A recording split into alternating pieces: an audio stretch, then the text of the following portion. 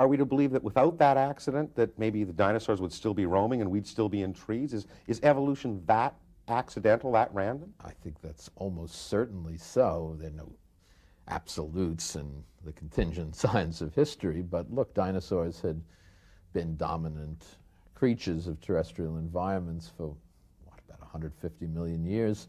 This extraterrestrial object did hit. There's some debate as to whether it's the chief cause of the death of dinosaurs. I think it probably was. But mammals, contrary to what a lot of people think, did not evolve towards the end of the dinosaurs' reign or after extinction. Mammals evolved at the same time as dinosaurs.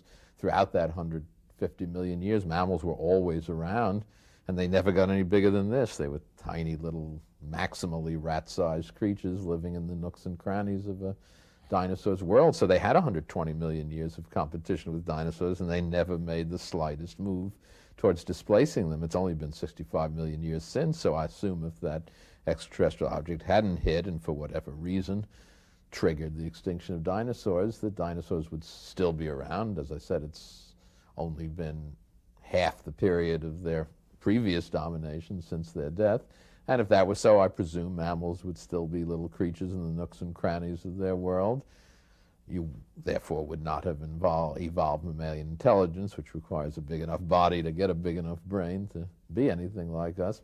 There's no reason to think the dinosaurs were moving in that direction. Speculative notions are just awash in the same bias of progress. No, I think if that object hadn't hit, it'd still be a world of dinosaurs, and we wouldn't be sitting in this lovely jazz club discussing this today. Well, you, have caused us, or almost forced us, uh, to look at natural history and, and, evolution in a very, very different way. That I think you've talked about it as the, the summation of, you know, fortuitous circumstances, fortuitous accidents uh, it's almost random I mean, whatever happened to this whole notion that we're higher beings, we're put on the earth for, for a, a greater purpose, and that we're, in fact, at the top of the evolutionary ladder?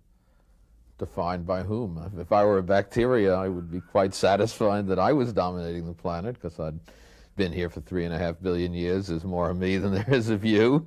There's no way you can nuke me into oblivion, though you humans can nuke yourselves and I'll be here until the sun explodes and you won't. So uh, now the only difference is that as a bacterium, I wouldn't have the consciousness to imagine that, but I don't know why consciousness should be seen as any higher state of being, especially since if you use the evolutionist's primary criterion of success measured by temporal duration, mm-hmm. I wouldn't place any bets on consciousness assuring our long survival on this planet.